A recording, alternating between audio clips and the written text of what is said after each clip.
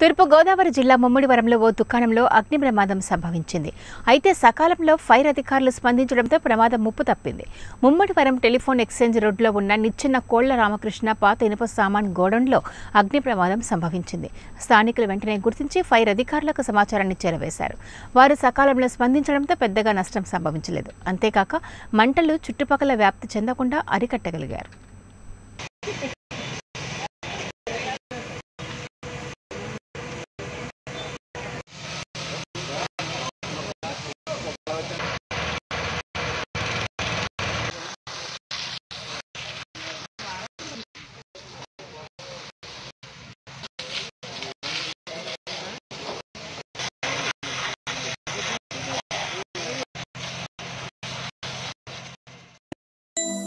ఈ వీడియో మీకు నచ్చినట్లయితే మా ఛానల్ని సబ్స్క్రైబ్ చేయండి లైక్ ఇవ్వండి మీకు నచ్చిన వారికి షేర్ చేయండి.